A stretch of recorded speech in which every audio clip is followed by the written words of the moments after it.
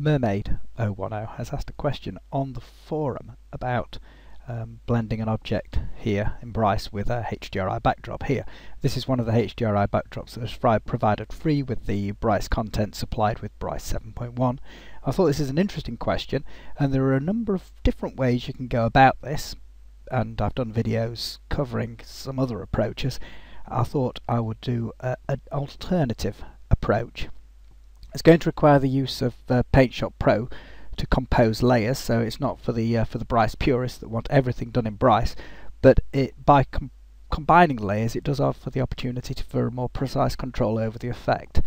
So I've just launched Bryce and what I'm going to do is load in the HDRI image so use HDRI image and I'll navigate to where the image is and it's called lake.hdr and as I says it's one provided by Horo with the free content that came with Bryce 7.1. If you need to know where that is, Horo's provided a PDF that uh, I can provide a link for at some point, probably just add it into the video uh, at the top somewhere like up here now, that's to remind me. Okay, so I've loaded that in, I'm going to tone map it using the built-in tone mapper. Takes a little moment to tone map and use rendering scene so I can see where the camera is can't see where the ground is at the, you know, underneath here at the moment, so I'll need to get rid of that ground plane. I'll get rid of uh, the, the quality setting down to 16 and I'm going to set it to add to sky. Now at the moment it's been loaded in over the standard Bryce sky and the sun might automatically been disabled and you can see by the colour of the ground there's not much light.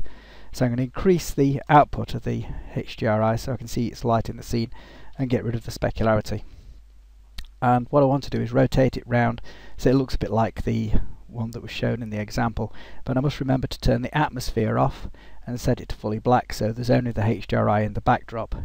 I'll now select the plane, delete it, go back into the Skylab and holding the control key down use this little control here to rotate it round so the, the lake is in the middle of the picture there Right, this is going to take a little bit of rendering out when I've got the, all the effects in, so I'm going to modify the document setup to 1 to 1 aspect ratio. That'll speed up the rendering process by making it just a little bit smaller. So I've made it that square, and what I want to do is put something out on that lake, just narrowed the field of view there, in the middle of this lake, and it's going to have the reflection. What I will do is go to the object library and bring in something to render.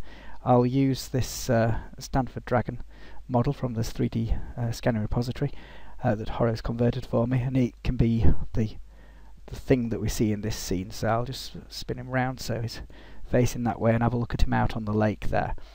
Now at the moment it doesn't look like he's receiving the same light as this scene because the background being tone mapped is a bit desaturated and there's no reflection for the dragon there so obviously that would help create the illusion. The material is just the default grey, which is a bit boring. So I'll go to the materials and I'm going to use one of the ones from the heating room set. I really like this uh, colour corroded metal. It's got uh, curvature filtering so it works nice with the, the dragon itself. And I'm going to increase his reflection so it looks a bit more metallic. And there I've now got him lit. But the thing is that HDRI lighting's uh, not working with the specular component on this model so I'm going to save the current camera position and move the camera around to find where the sun is in this scene. The sun's there so I'm going to sky and fog hold control and alt and double click on the rollerball and then when I hold control and alt and click on the scene that'll allow me to bring the sun in to where there's the asterisk is where the sun is now. I want it to be there, so I position my cursor over where the sun is, press escape to switch views, hold control and alt and click. And now I've positioned the Bryce sun over where the, um, the sun is in the HDRI backdrop. I switch back to my original view, go into the Skylab, re-enable the sun, and that'll allow me to have stronger direct sunlight effect on the model. It still doesn't look really integrated into this render though. It, just looking at the lighting on him, he looks metallic now because I've given him more reflection. And I've got the specular effect working, but he's still a bit high contrast. So if I choose a different render mode, so let's go into render options, premium effects, true ambience, scatter correction, but I'm not selecting boost light. In this case, just the ordinary ambience with the scatter correction will tend to produce a lower colours response. The boost light brings the colours up, and lower the response so I can blend it better into the existing scene. I'm going to lower the maximum ray depth just to improve render performance there. And now he's starting to look a bit more like he belongs. The other advantages of premium effects is it can do things like blurry reflections and things like that, and we are going to have to have a reflection at some point. You can see now it's not taking very long because the, the, the model's only small in this scene and uh, most of its HDRI backdrop that it's rendering, so it'll render fairly efficiently. So, as things stand, this is my opening gambit for making this look like it's in this scene. Probably still is looking a little bit too high in contrast, and uh, obviously this isn't the maximum resolution HDRI image that you could have in Bryce. It's sort of a medium resolution image, so the dragon's going to look a little bit sharper. I could soften him by using depth of field effect and other premium effects like that, but uh, essentially, for the first stage of the render, try and get your model looking like it's in the same sort of lighting environment as the rest of the HDRI backdrop. So that might take a little bit more fiddling around with the settings, but I don't want to get too bogged down with that because the next stages are more critical for what we're going to try and achieve. So I'll just let that render out and save this as the first one. So file, save as Lake Dragon 1.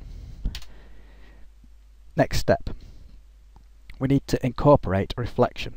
Now if I just put a reflective plane and I'll see you'll see what happens there. So oh, it's just saving the file. Won't take a second to create. Uh, I've hold control down while click on ground plane. That will create one in default grey.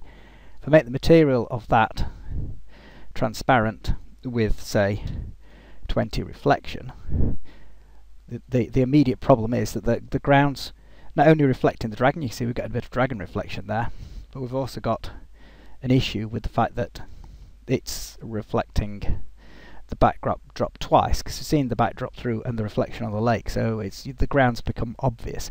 Now we could do things with negative light lights like we've done before but there's other ways of approaching this that Muller uses paint package to compose all the image will turn out to be sort of quicker uh, so we need to set this up so now we're just getting the reflection and what we want the reflection to look like well if I modify this material now so we've got hmm, so some diffuse to make it white and some reflection. I don't know how much of each. I'll try 90 reflection, turn the transparency off, turn diffuse and this this is not transparent anymore so I can control the brightness of it because what I'm going to do is try and create white ground where the reflection shows up so I'm going to turn the true um, effect off because we don't need that lower the rays per pixel for now and um, I'm going to use blurry reflections to get an isotropic effect on this um, water surface to make it match the lake better. I'll set in the diffusion at 90 and the, trans and the reflection at 90 at the moment and because I want to deal with all white because I'm going to use masking I'm going to modify the atmosphere so it's fully white then I'm going to turn the HDRI backdrop off as a backdrop now and we'll see whether we're getting close. So you can see now the reflection's not really dark enough, but it is blurred. And the other thing is, I don't need my dragon to be that reflective now. I just need it to be quite dark. So I'll drop it back to its original level of reflection as the material loaded in.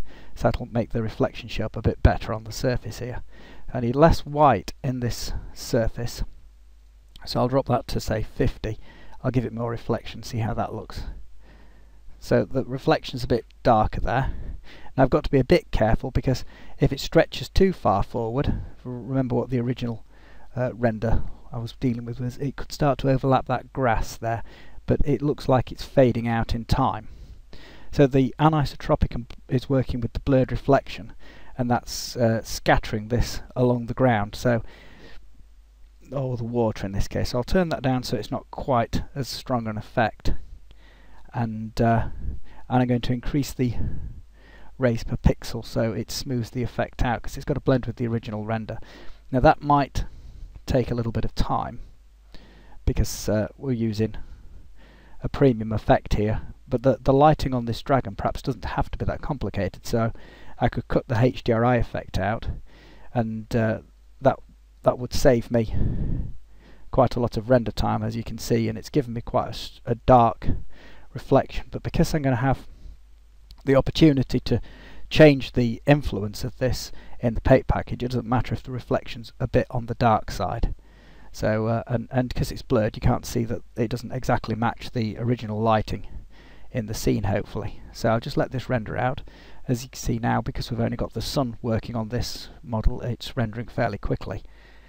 And then the next stage is to produce just a white um, dragon so that that can then be masked over and can use object masking for that.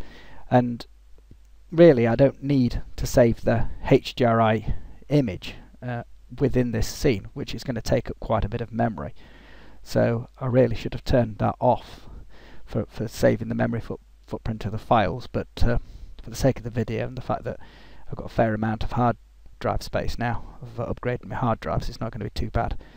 So I can go back to the original scene while this is still rendering and work on producing the object masked one and then we save that and then I'll show you how to combine them in the paint package to get the effect hopefully so I'm just loading the original scene which is tone mapping and another reason not to save it with the HDRI and then I've got the dragon selected so I go to render options and I want an object mask there. You can also select that from render options and check that value there. So that'll just give me my object mask which won't take very long to render. It'll probably render faster than that but bear in mind I'm still rendering this image in the background. So that's that one done now so file save as. Number two. And this one file save as is going to save over the same because start from the same source file so I'll call that number three. So that now is my three components.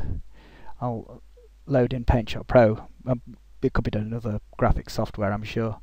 It's just a matter of I understand how this one works mostly.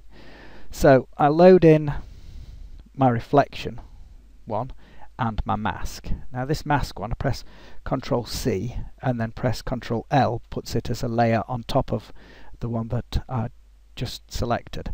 So you can bring up into here. The layer controls here, I can change the blend mode and use blend mode and use lighten.